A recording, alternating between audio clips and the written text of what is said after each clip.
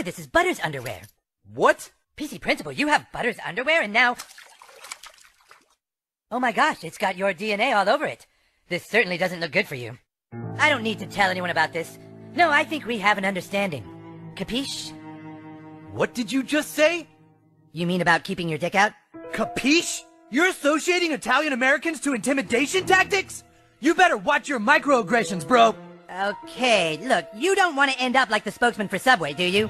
Did you just use a term that excludes women from an occupation? Okay, let's back up. Ah! Did you just say spokesman instead of spokesperson? When women are just as capable of selling sandwiches as anyone? Are you purposefully trying to use words that assert your male privilege?